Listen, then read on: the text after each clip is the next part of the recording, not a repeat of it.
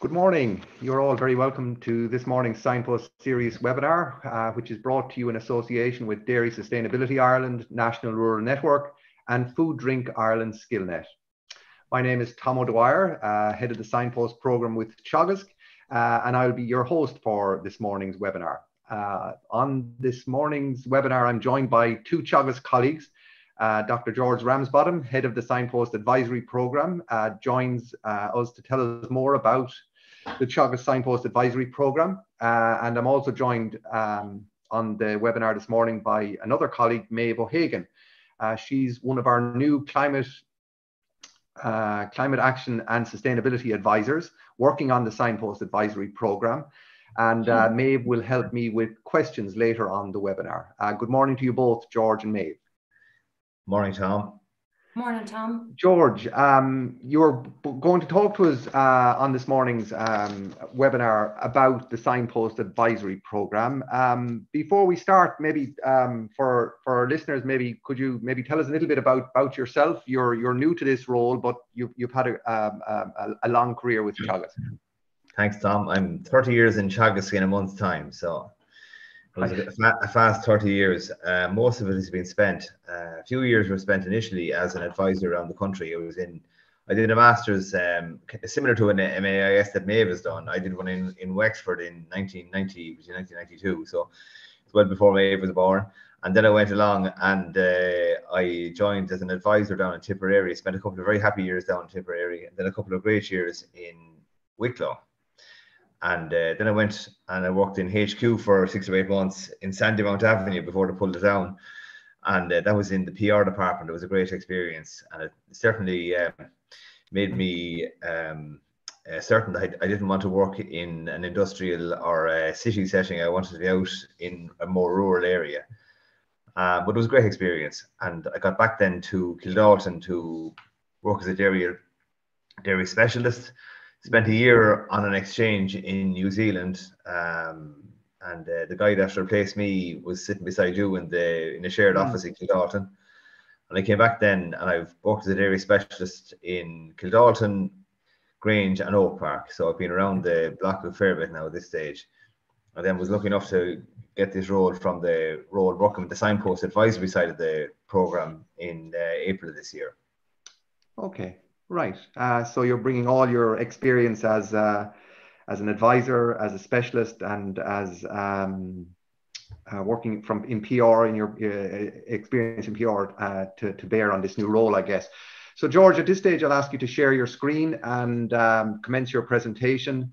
For those of you listening online, um, as as with every other week, you can submit your questions as George is making his presentation using the Q&A function at the bottom of the, the Zoom screen. Um, Meabh and I will, will uh, keep an eye on the questions as they come in. And once George is uh, finished these presentations, um, uh, Meabh and I will, will put those questions to George. Um, so uh, the more questions we have, the, the, the, more questions we can put to George. So George, uh, over to you then. So um, look, at, I'm just going to talk to you, bring you through the, the advisory element of the whole the signpost uh, program. So it's there's three or four different parts to it. Tom is I would consider Tom more the industry facing side of it, and I'm more the I would consider the farmer facing side of the signpost program. Uh, that's how I describe it. So um, there's kind of three pillars to the whole climate action uh, piece that Teagasc is in, engaging with. On the right hand side there, you can see the the centre for it's basically I call it the climate centre basically. Um, and it's been headed up by um, a team mostly from well based in Johnstown at the moment. So they're they're working. It's a virtual centre. They're working on uh, some of the newer technology that we need to uh, bring along with us to try and achieve the targets in terms of climate that have been set for us. The second key element to the program is in the middle. That's the sustainability digital platform. It's kind of the fancy name for uh, AgNav. Really, is what it's about. Is what the core of it is and uh, we'll come back to that in a few minutes because it's central to the work that I'm involved in. And the element on the left hand side, then, or the third pillar, is the signpost advisory program. And to me, that's the piece that I'm working with. And I'm going to go into the details of that now in a second. So um, this is a very large and very cluttered board. It's one of the boards we have for to describe the sign the what we're doing in the signpost advisory program. It'll be presented in Moorepark on Tuesday next at the Dairy Open Day why should you sign up? Uh, you should sign up to, to track your own carbon footprint, see what initiatives you're what initiatives you're engaging in, and what the impact of those initiatives and what the new technologies you adopt can have on your carbon footprint. Why you should sign up as well is because many of the actions that you can adopt are good for you and good for the environment and can deliver both positives from an environmental perspective and even more money in your pocket. Uh, engaging with climate actions will present opportunities for your farm, and the consumer is demanding a lower carbon footprint from the food that we produce, which is fair enough. What's the program about? There's three elements to it. There's the know your number part, which is establishing what your, your carbon footprint is. There's the commitment to change, which is about putting a plan in place or an action list in place for your farm that will help to reduce your carbon footprint. And then there's the support that we can offer in terms of making sure that the actions are adopted. What uh, what to expect from the program is over on the right hand side. So we'll come into the we'll talk a little more about the, the team that we're putting in place, of which uh, or of whom Meabh, who's on the team here today, is one of the is one of those advisors. There'll be workshops and training opportunities to learn more about climate change and reducing your emissions. You'll be offered uh, one-on-one advisory uh, support to implement implement the changes on your farm and you'll be you know invited to events and demonstrations to show the new practices and technologies that you can engage with. George, George, the, sorry, just Tom. one moment. There's a couple of comments in on the on the Q and A. Just can you press hide on your yeah, just there. That's great, sorry. perfect. Thank you. That's actually showing is it cheapers. Another more more technology I have to adopt myself. And uh, the, the Tom, your your kind of focus is on the sign the signpost demonstration farms. This is a the cohort of 120 farms around the country that are our flagships for the kind of climate action initiatives that you can take to uh, reduce carbon footprint. And this is a kind of a, a, cohort of farmers that the participants in the signpost advisory program, which is up to 50,000 farmers between now and 2030, can use as templates for the change that they're going to make on their own farm. Down in the right hand corner there, we've a, QR code that brings you into the uh, signpost advisory program website on our on our on our own sites here and you can you know you can sign up for the program or you can find out more about the program uh, using that QR code. So if we look at the signpost for advisory program, then there are four core core elements to it that we need to everyone needs to be aware of. The first is it's available to all farm all farmers, and we need we need to engage with as many farmers as possible. The second key element to it is that it's an, an enhanced advisory and training support uh, program, which is in which we have 21 specialized advisors. I'll come back to them in a minute, and who are dedicated to delivery of climate action initiatives on a max the maximum number of farms. When you engage in the program, you will establish your number, your carbon footprint. We'll help you to do that using the AgNav tool we're going to come back to in a minute. And we'll help you to generate a plan or an action plan or some action, an action list for your own farm to help you to reduce the carbon footprint that you have. And we have a really ambitious plan that we need 50,000 farmers participating in this program between now and 2030. There's a massive target of a 25% reduction in, in gaseous emissions between now and 2030. And we need you know, maximum per, per, uh, participation in the program to achieve that target. Why are we why are we focused on a kind of a dedicated program for uh, the signpost uh, team? Well, there's two reasons. Is the first is to accelerate the adoption of the technologies that are already there. And if we're honest about it, we can see um, that the technologies that are already in place will reduce on average the carbon footprint or the gaseous emissions from farm by about 18, per, 18 or 20 percent. But it's also to have a team in place to support the adoption of future technologies. These are the ones that are being developed at the moment. So, for example, things like um, the key one would be um, around methane inhibitors uh, at ruminant level, because ruminants are our largest, are the largest emitter of greenhouse gases in, in the country. So we're, we're working on technologies to reduce the amount of methane that they produce. And we know that methane can be a fairly potent uh, gaseous um, uh, greenhouse gas, basically. So we, we need the advisory program. We need a dedicated team to accelerate the adoption of technology, technologies that are already there and to be there to support the adoption of the emerging technologies or future technologies that are going to come on stream over the next number of years. The other reason for the signpost program is to highlight the progress that's already been made through advisory work and on farm. So if we look like if we look at some of the technologies that are already uh, available and we're working on, we're working on the promotion of technologies like low emission slurry spreading, on the use of protected urea, on a, a, big focus on, on the application of lime, which will result in lower a lower requirement for nitrogen fertilizer. The protected urea has a, a massive impact on the emissions uh, coming from gaseous emissions coming from fertilizer. And we know that the, while it's, it's a difficult enough technology to adopt, in my opinion, the incorporation of clover has huge potential because it has a massive impact on the quantity of nitrogen that you're going to require to produce uh, decent yields of, of grass for grazing and for silage. Now, if we look at maybe some of the progress that's been made over the last number of years, if we look at the, the, the uptake of protected urea, for example, in this uh, area here, we can see that there's a gradual, a very slow but gradual increase in the proportion of nitrogen that's been applied in the form of urea. The blue bars are from, from for dairy farms, and the first three columns here refer to the national the national situation. So by about 21, about 10% or so of the protected urea uh, of the nitrogen used on dairy farms was coming in the form of protected urea. It's been slowly increasing, and you'll see a rapid uptake in the next couple of years. If we look at the signpost dairy farms, it's gone to about uh, 35 or 40 percent, and we know it has a massive impact on gaseous emissions on farms, and it's a really positive story. On the beef side of the house, there's been a slower uptake, but having said having said that, in in 2021 on the signpost beef farms that Tom is engaging with, almost a quarter of the nitrogen that they used was in the form of protected urea.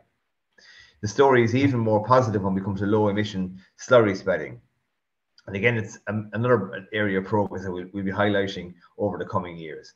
So the proportion of, of slurry applied using low emission slurry spreading technologies, you can see it's ramping up substantially. And it's almost 75% of slurry spread on dairy farms is coming in the form of low emission slurry spreading technologies. And it's about a quarter of the slurry spread nationally on beef farms.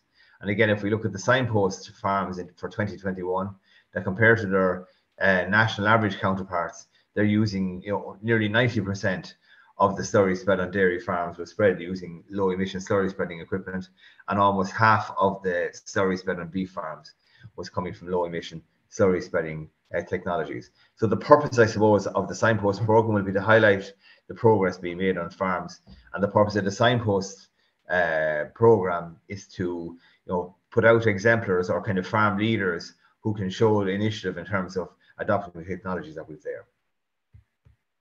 What kind of steps can you take? Now we, we know taking steps are hard. So we, we ranked, we have um, messaging going out and it's available to all farmers around the kind of the core steps that you can take on different farms. So on the left hand side, it's around dairy farms. On the right hand side of this uh, slide, it's around beef or suckler farms. So a lot of the core technologies, you know, they're ranked by their ease of use. So things like protected urea and lime and soil fertility are down near the bottom. They're you know, relatively easy to adopt. Maybe using uh, low emission slurry spreading equipment is, is down uh, for all types of farms down at the bottom. Further up along the line, you have things around better grassland management, which may be more difficult, but also really important and very impactful on gaseous emissions. You've, you've improved animal health and improved genetic merit for dairy and beef farms. Uh, you've in, increased output uh, per cow in terms of milk solids production or calf live weight, and then reducing age at first calving and uh, clover incorporation, maybe the, maybe the more difficult one, but in the long term, it'll have again have a massive impact on our carbon footprint. So there's loads of steps out there, and we have tailored messaging for dairy, beef, and uh, dairy farms, beef farms, suckler farms that are available for you to to engage with and discuss with with our signpost advisory team. Our team has just been put in place and is just starting to work. Maybe I think that's you on the left hand side there in the team. We had a training day back in April for the team before they actually started in the role. Tom, you're in the photograph there, hiding behind Seamus Carney. And the team is spread from the north of Donegal down to Kerry and over to Wexford. So the team now is just being put in place and is starting, is open for business and is starting to run a series of workshops. That's an important message. So they're now on the ground and starting to engage with farmers in terms of gaseous emissions. We're launching the program throughout the country, so you'll you'll probably be aware of the series of launches that have already taken place. This is a picture that I launched about 10 days ago in in uh, in the Carlow, Wexford, Wicklow constituency, and we've in, we invited you know industry players, I, the IFA, ICMSA, ICSA, the different farming organisations. We signpost farmers at it. We had county council people at it, and we had other industry players who will all be influential in the in the coming years to try and drive home the initiative for us on farm. We're, we're running these, these launches on a regional level because it's important that the industry and the farming population in general are aware of who the signpost advisors are that they can access or, or contact to move the initiative along in their own area. Look at uh, we're starting with the low hanging fruit, um, and what I mean by that is we're dealing with farmers who have already applied. We're starting to contact farmers who have already applied uh, to join the program and participate. The details have been allocated to the different regional units and are being distributed to signpost advisors at the moment. The other uh, areas of kind of people who will access fairly quickly is existing discussion groups and farmers who are involved in der- derogation or farmers who have a lot of uh, contact with their with their advisors on the ground. By the six, by the middle of June, we'd completed around 20 workshops with around 200 farmers already engaged in, in those workshops. Um, so just in terms of the actions that you, take is the first step along the line is to, well, obviously to apply for the program. Then at the workshop, you will uh, learn, establish what the, your number is, your carbon number is, um, what kind of gaseous emissions are being produced, and we'll we'll develop a we'll develop a we'll give you your own carbon number, and the second step then will be to prepare the the plan. At, that that'll be done sometimes at the workshops, and sometimes it's been done uh, as a kind of a follow up. Step three then is support by the local advisors or the signpost advisors to support delivery of the plan, uh, of the action plan that you develop uh, for your farm. And we'll be monitoring the trends and actions taken in terms of greenhouse gas, gas emissions on the, for the individual participants and for the, the wider industry uh, over the next number of years and, and establish what's going on. So for most people, it'll start with a workshop, but it doesn't necessarily mean a workshop for farmers.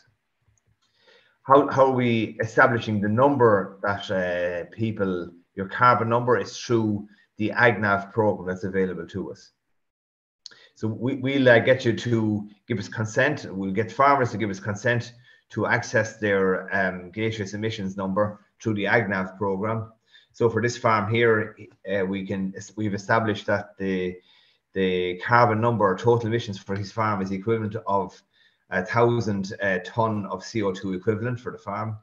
Where that data is coming, or those data are coming from, they're coming from the Bord Bia sustainability audit, we've uh, we've linkages with them, strong linkages with Bord Bia to establish the sustainability survey data for individuals' farms, and we're also linking in with the data coming from ICBF. So the AgNav program is dependent on a three-way initiative between Bord Bia, ICBF, and Teagasc, and the three of them are working really closely to develop the AgNav program. So we establish first of all for the individual what their greenhouse gas emissions are so here it's a thousand ton of emissions of carbon dioxide equivalent for the, the farm in question. It's a large scale dairy farm. The emissions per hectare uh, then is calculated using the data from the sustainability survey. So it works out for this farm at almost 11 ton of carbon dioxide per hectare. And this is a, a specialist dairy farm. So we know that the emissions, his carbon footprint per kilo of milk produced is uh, working out at 0.78 kilos of CO2 equivalent per hectare. Now, one of the things that's being developed in the AgNav, and it's not all there yet, but some of the actions can already be uh, generated.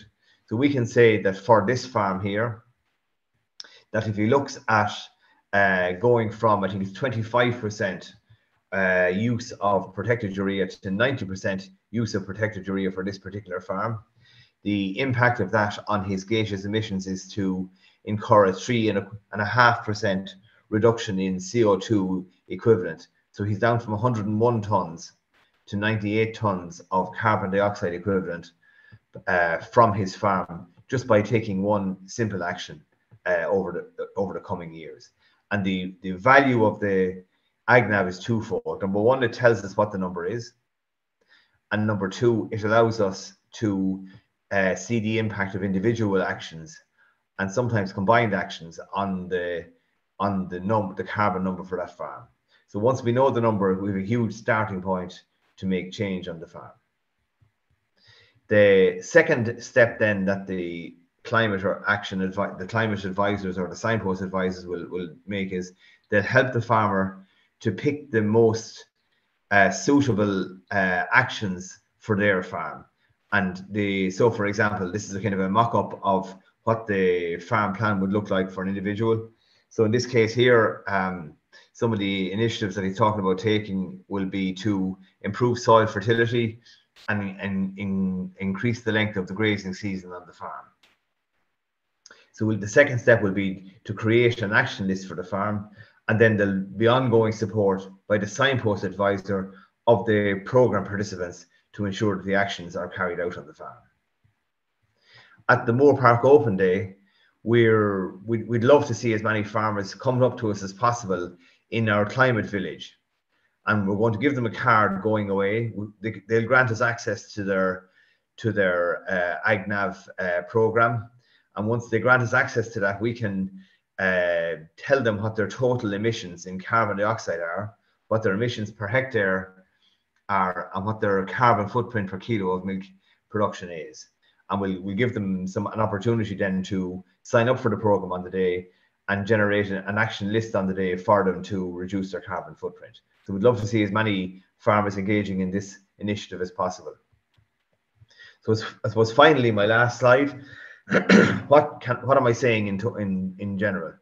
I, am saying, look, we we have a very clear target to work towards in the, the 25% gaseous emissions that have been set for the sector.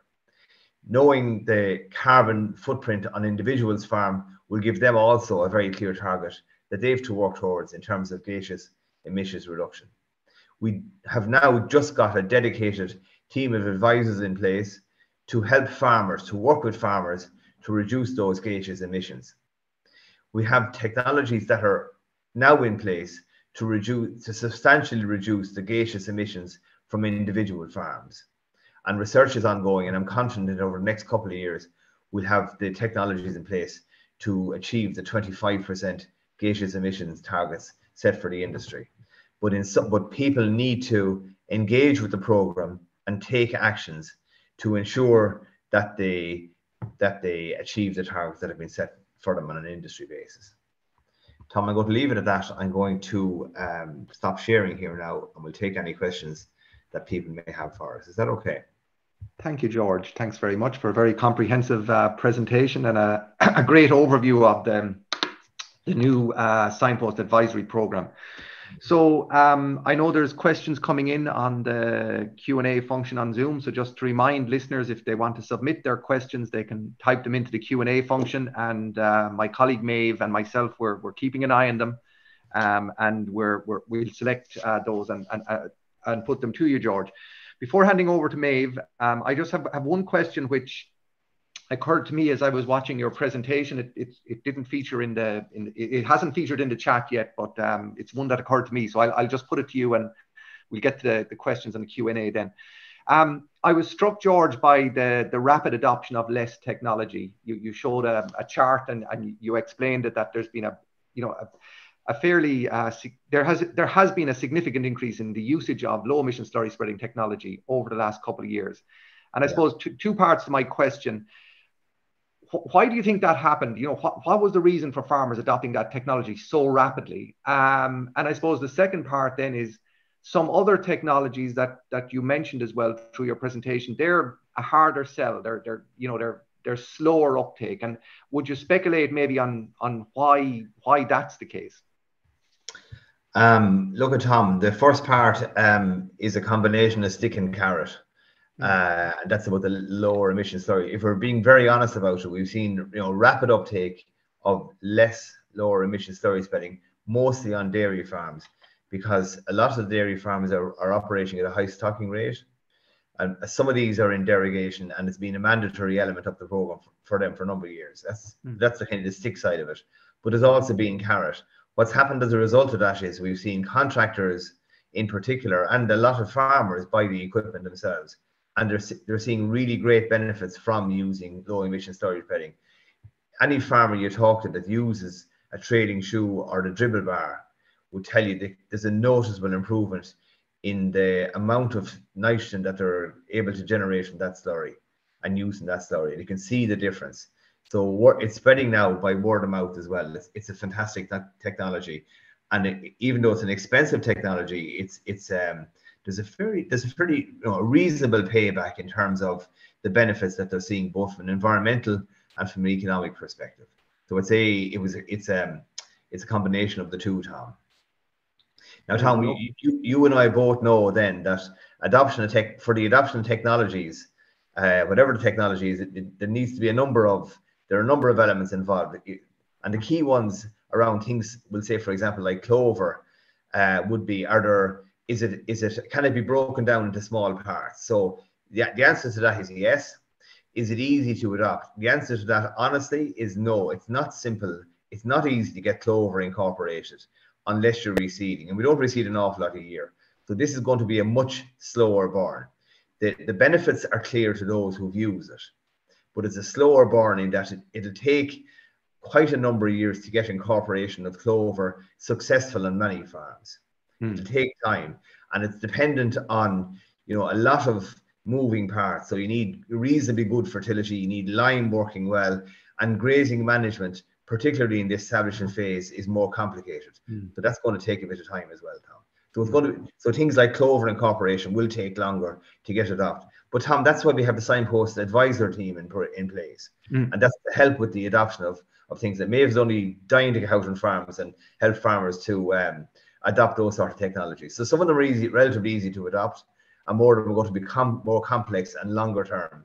And there'll be there'll be there'll be twists. As I say to people, there'll be a few bends on the roads. It's not all going to be sunshine and roses. There's going to be a few gloomy days as well when things didn't work very well, and we'll take a bit of time to straighten out. Mm.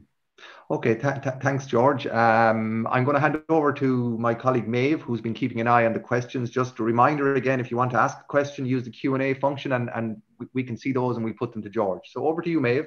Yeah, thanks, Tom. Um, yeah, the questions are coming in thick and fast here, George, uh, especially in terms of the um, the AgNav system. So okay. um, I might throw a few of them over to you.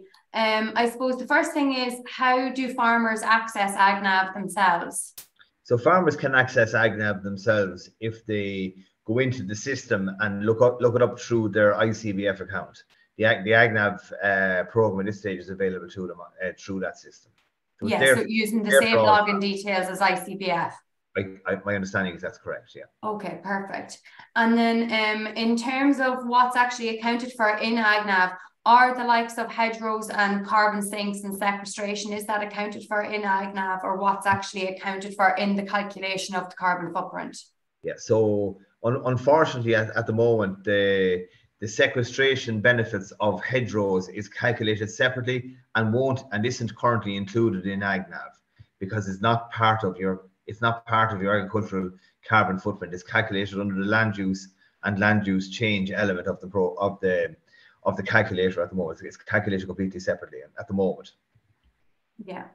Um and then does the farmer need to be in Bord Bia to get picked up by AgNav? And then just in terms of um, maybe farmers with either mixed enterprise or yeah. with tillage and sheep, then is that being pulled into AgNav also?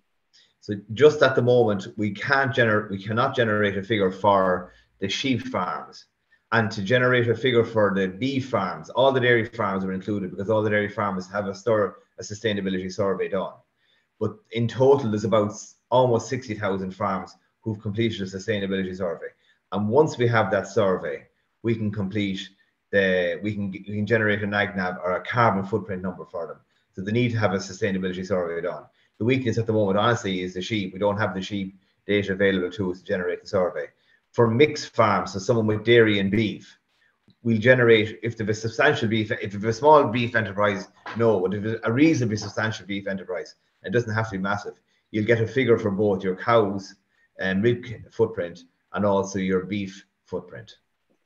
Um, and maybe just a related question there, I noted from David um, Maeve on the on um, on the questions in relation to the allocation of inputs and outputs to individual yeah. enterprises. Uh, George, would you comment on that? Um, does AgNav handle that, you know, and kind of takes yeah. it out of the farmer's hands, so to speak? Yeah, it, it's do, it's doing a really good job allocating it. There's peer-reviewed papers that Jonathan Herron has been involved with that are behind Laurence are behind Laurence Shalloo behind mm. behind it that, that, are that are allocating it for us uh, behind the scenes. So it's all done nice and neatly behind the scenes. So it's just giving you an, an individual a total figure, a per hectare figure, and a, and a figure for the per kilo live weight and the per kilo of milk produced. So it's all done for us, Tom. And just mm-hmm. following up on that, George, then there's a good question here in terms of out of those metrics that are provided to you by AgNav, which one of those is best to go by um, you know, just bearing in mind, like, are we focusing on absolute reduction and then versus the emissions intensity per kilogram of product? Well, I put my hand up and say that I focus a lot on the per kilo stuff, but Tom tells me I'm wrong. Tom is usually right. Tom tells me that from a, a national perspective, that it's the it's the absolute figure we need to really we need to, to hammer up, need to reduce because that's that's what we live or die by as a as an industry uh, over the next number of years. It'll be the, the total figure will be the core figure. Yeah. Mm. But I, I, suppose just to come in on that, George, um, in terms of um, working with farmers and providing farmers with some sense of a benchmark of where their farm is relative to perhaps the national average in terms of uh, a measure.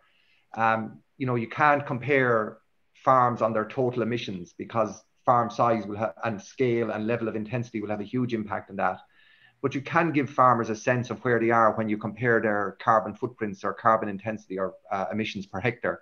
So it, it I, in my mind, I think it. Ha- I'm, I'm softening a little bit, George. Maybe it has it has to be a combination of of, of all three metrics: the total emissions, yeah. and then your emissions per hectare and, and per kilo of product. Yeah. Yeah. Okay. Um, and then just in terms of, um, I suppose, some of the other environmentally based programs that we have going on in Teagasc, there's a question there just regarding the likes of the ASSAP program that focuses on water quality and, you know, how will the signpost program tie in with that to make sure that we're achieving, I suppose, both our water quality targets and our greenhouse gas targets in tandem?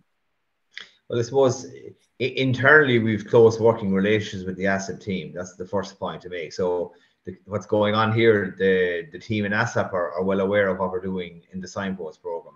We're all working closely together and trying to coordinate it.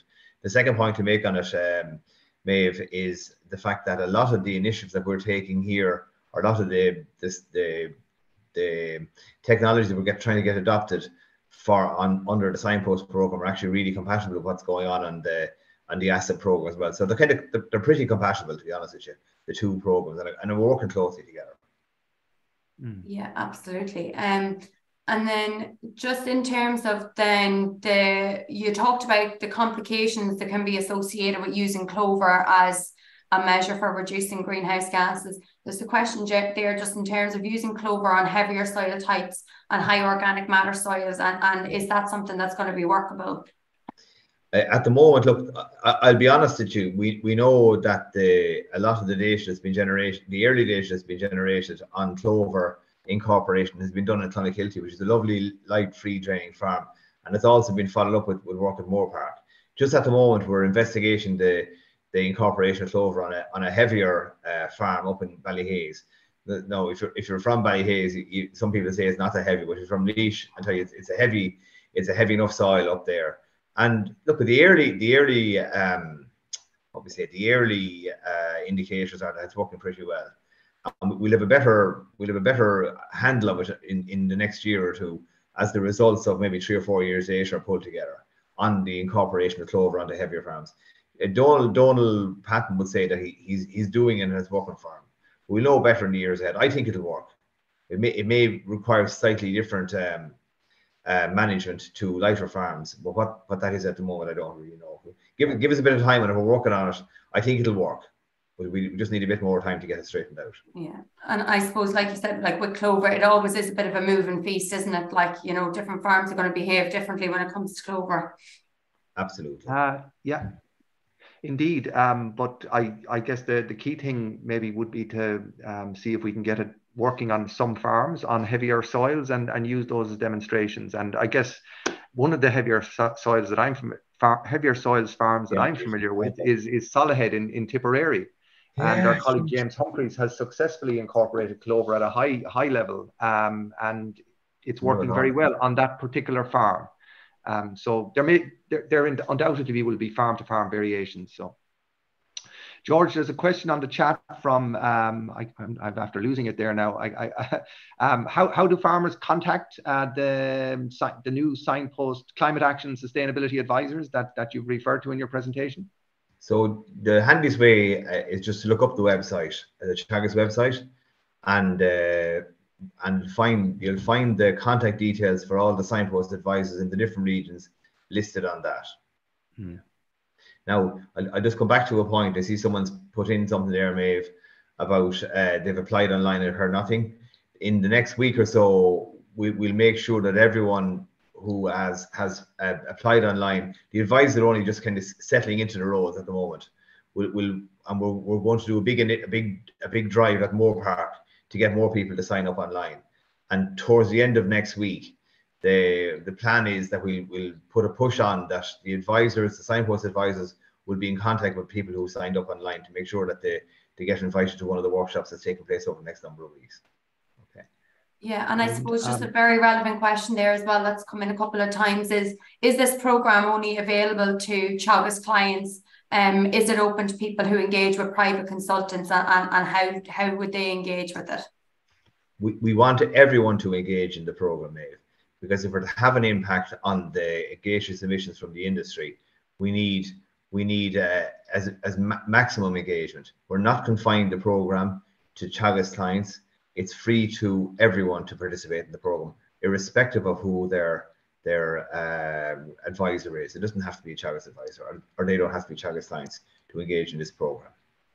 Um, I think I, I, I, I, better clarify a point that was made earlier, George, in relation to access to AgNav. Um, our colleague Seamus has messaged me just to remind yeah, me that uh, access to AgNav is um, is only available to farmers who are who are participating through the signpost advisory program. So I, at the moment, I think it's it's a, it's what's called a closed pilot.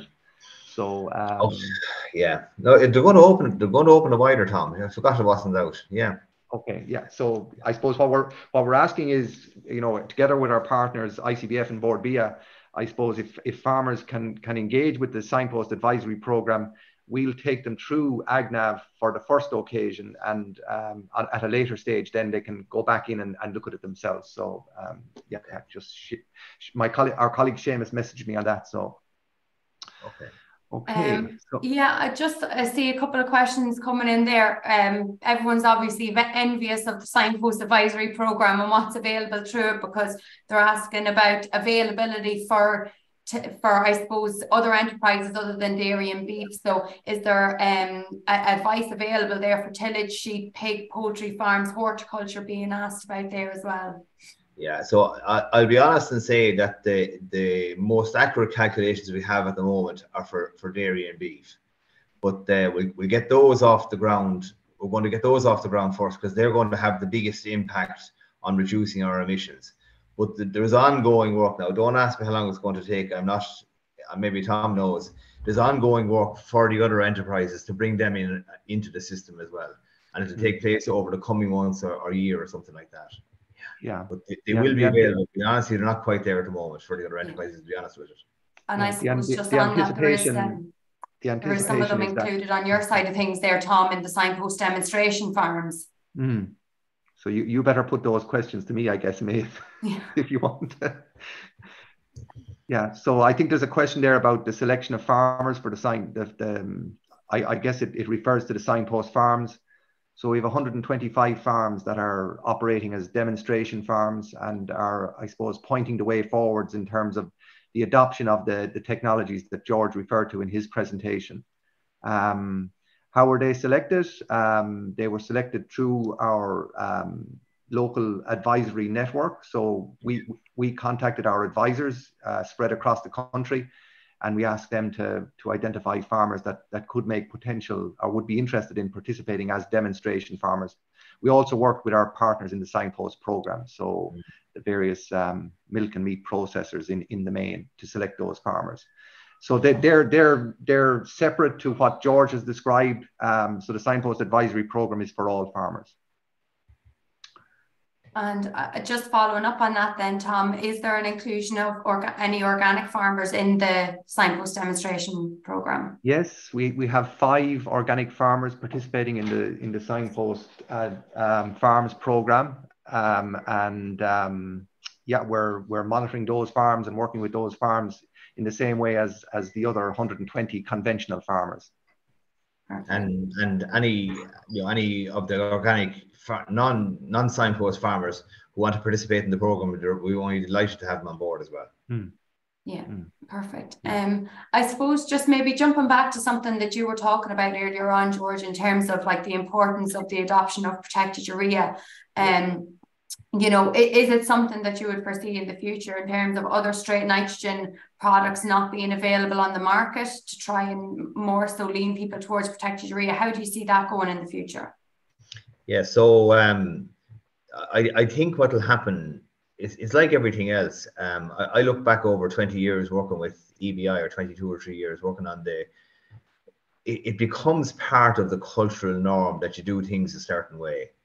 It, it's amazing the way people forget how things used to be mm. and what becomes the norm um, changes over time. And what we're going to see over the next number of years uh, is just a gradual you know, a gradual rise, a fairly, I would say, is even a substantial increase in the proportion of protected urea used, and it'll become in the next number of years the main uh, nitrogen fertilizer of choice when straight nitrogen is being applied. It'll, it's just going to happen, Meabh, and people won't even know it's happening. It, it's it's working really well. There's no reason to use any other form of straight nitrogen than protected urea, and it's it's on a on a cost per kilo basis when you allow for the higher uh, utilization rate compared to even conventional urea, it's on neck and neck with conventional urea, even though it's slightly dearer than it. It, it works out this it works out the same uh, per kilo and it's much cheaper than CAN.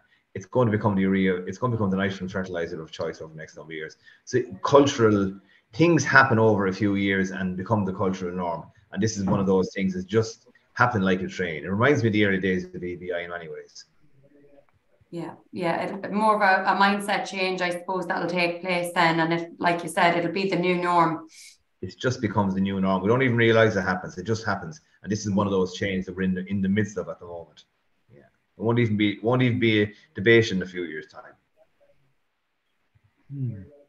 Um, there's just another one there, I think, coming in for you, Tom. In terms of the signpost demonstration farms, then what ongoing work and research is actually being carried out on those demonstration farms?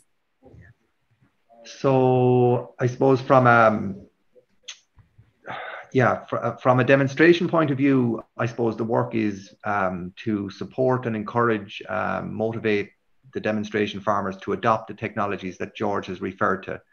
Um, so, um, and George had the 12 steps up on screen at, at, at, during his presentation. So, you know, starting from some of the what we consider the easier steps to take, like correcting soil fertility, the application of lime, uh, the adoption of protected urea, and so on, moving up along then to maybe reducing chemical fertilizer nitrogen and up towards the top of the tree then, you know, better breeding and, um, or top of the stairs, the top of the step, uh, better breeding and uh, the incorporation of clover. And George has already explained, you know, why some of those technologies are considered the first steps to take and, and why more of them are considered maybe some of the latter steps to take during a process uh, to reduce emissions.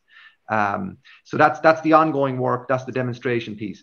In in relation to research, um, uh, I suppose the the signpost farms are involved in uh, a, a, key research uh, experiment uh, started by Teagasc to come up with better estimates of soil carbon sequestration.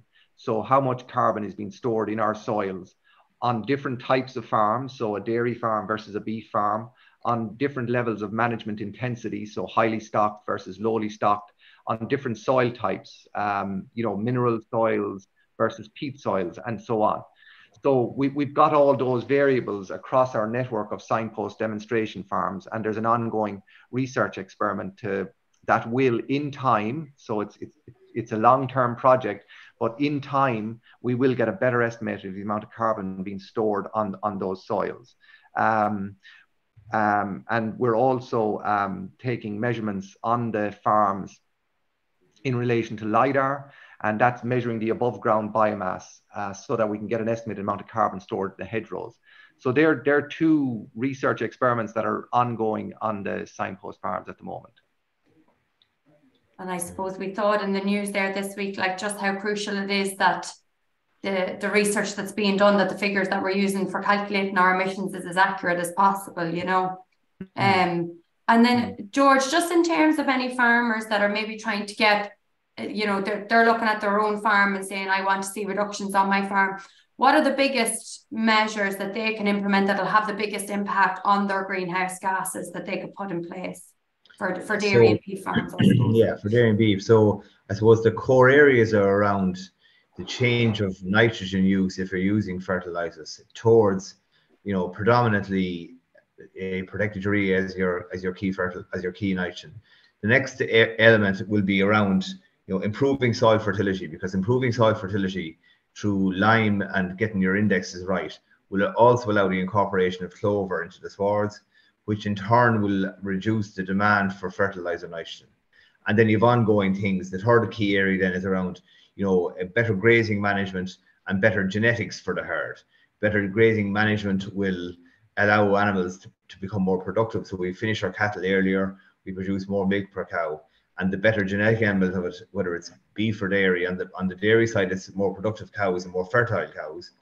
Um, and on the beef side, it's you know, earlier finishing. So we've grazing management, but also the genetics to allow us to finish the cattle earlier. Because the quicker cattle are slaughtered, uh, the earlier they're slaughtered, at the the more efficient their um, their um, productivity per kilo of, of uh, live weight gain is. So start with the nitrogen change, work on the soil fertility, and then deliver on you know health uh, and better breeding. And I suppose within the better breeding, for example, we've technology there on EBI, we've technology on DBI, and you have the whole opportunity that's coming now at the moment of doing kind of the whole whole herd genomic analysis to try and establish uh, what are the most superior animals for breeding in the years ahead. Yeah, so I suppose it's important for the farms to kind of assess where they stand currently first, and then decide where they can go from there. Yeah.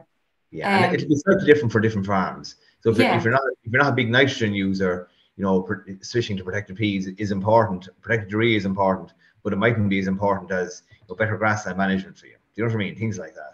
Yeah, absolutely. And yeah, the use of the advisors then, the role of the advisors is to tailor a plan for your farm because change is not easy, but having the advisor on board will help you to facilitate will help to facilitate discussion on what's going to work best for you.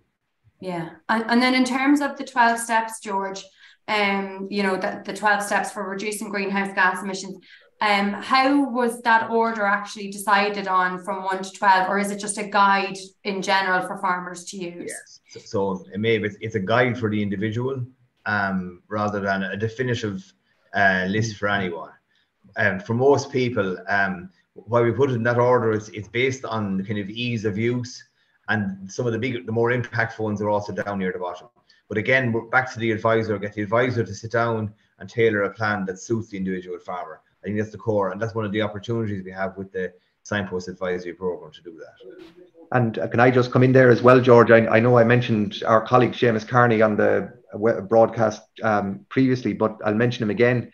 I, I've seen him facilitate a very um, engaging exercise with a group of farmers where they're asked to um, rank the, the 12 suggested measures themselves and identify for themselves on their own farms what step they would take first. Yeah. So, you know, to me, I think, and and it's it's it's how our advisors will work. I believe it's it's about um, engaging the far engaging with the farmer and agreeing with the farmer what steps are most suitable for the farmer's farm and, and what steps the the farmer is willing to take. You know, where we're not we're not trying to force measures on people, but um, but equally we, we can make recommendations and provide guidance. So yeah. But Tom, the great thing about the the industry we have is that we're, we're no one is being forced to do anything at mm-hmm. the moment.